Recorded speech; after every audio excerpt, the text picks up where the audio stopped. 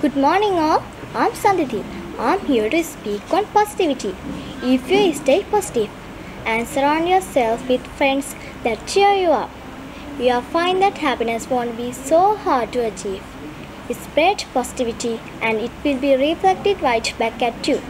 Your friends and anyone if you meet at school will be happy to have a study buddy with a positive positive attitude. Thank you.